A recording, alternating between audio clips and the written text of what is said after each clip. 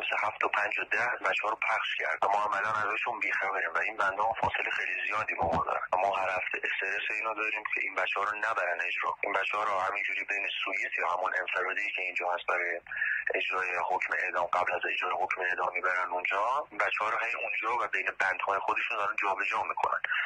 و هیچ فرقی با اعدام کردن نداره. یعنی انقدر فشار و ترس و استرس رو به این بچه ها وارد می‌کنه که هیچ تفاوتی با اعدام نداره. الان توی همین هفته چهارشنبه پنج تا از بچه های قصاصی بچه عادی به اصطلاح زندانیا اینجا حکمشون اجرا شد. یعنی حتی روند اجرای احکام بچه های عادی هم اینجا صورت گرفته. یعنی الان ما داریم بچه های عادی رو می‌بینیم که اینا از صبح تا شب توی استرس هم که مبادا حکمشون اجرا بشه. و پنج نفر رو بردن اعدام کردن جسداشون رو توی 390 گذاشتن خانواده ها رو آوردن اونجا که تایید کنن و جسد رو منتقل کنن به پزشکی قانونی. و گفتن که آره حالا خدا بیامرزه پسرت رو. انشالله میره بهش. از اونجایی که حکومت می‌خواد یک سرپوشی بذاره روی ناکارآمدی خودش. روی قتل بچه های ما خب مجددا دست به اعدام زده مثل زمان دهه یعنی این بچههایی که احکام اعدام گرفتن اگر همینجوری به شکل که الان هستار ادامه پیدا می‌کنه یک فاجعه بدتر از دهه 60 به وجود میاد اینجا. الان تنها ترین رو و تنها ترین درخواست ما از مردم اینه که خیابونا رو خالی نکنن.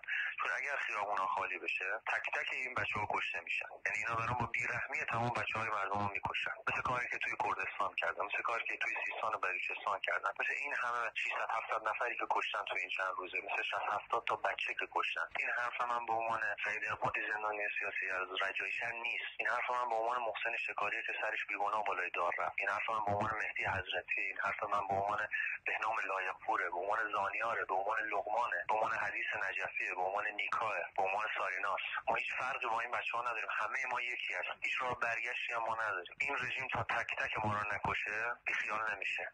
الان همین بچه ها مهان صدرات محمد قباسلو بروغنی و تمام بچههایی که حکم اعدام گرفتن حداقل کسایی که من می‌دونم اینجا هستن جونشون در خطره. و من مطمئنم با تنگنایی که حکومت توش قرار گرفته این بچه ها رو اعدام می‌کنه و خیابون ها خالی بشه و این انقلاب حداقل فروشش بکنه این بچه ها اعدام میشن. از همه می‌خوام که خیابون ها رو حتما با این عنوان که تقاس خون این بچه ها ریخته شده این بچههایی که زیر حکم اعدام هستن نذارن این اتفاق بیفته. این روند مطمئنا ادامه خواهد داشت اگر خیابون ها خالی بشه. خود من همین الان بند هشت زندان رجایی که معروف به بند وزارت اینجا طبق چیزی که حالا ما به گوش ما رسیده و ما می‌دونیم اکثر بازداشتی اونجا خانم هستن. حداقل خود من سه چهار تا خانم دیدم که با چشمند از زندان رجایی شهر آورده شدن تو. که خب اونجا دیگه یه بند امنیتی دیگه اونجا رو اصلا نمی‌تونیم خبردار بشیم که چه اتفاقی داره میفته مثل همین اتفاقی که برای آرمیتا عباسی داره میفته مثل اتفاقی که برای بچهای قرچک داره میفته و زندان های دیگه که تو کل ایران هست که معلوم نیست چه بلایی داره سر این بچه ها میارن. اگر این قیام این انقلاب توی خیابون ادامه داشته باشه اینا همین تنگنایی که توش قرار گرفتن تنگتر میشه. و دیگه نمی‌تونن خیلی راحت بچه های